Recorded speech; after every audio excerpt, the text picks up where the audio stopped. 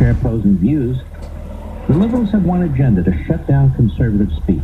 What censorship of President Trump, and they Try to conservatives? shut down anyone There's no says they get word about censorship. it. It's all in your head. You know head. what we're all about on my How shows? dare you claim that we're censoring people? Levin or this show, and that's giving people the truth, no matter the cost.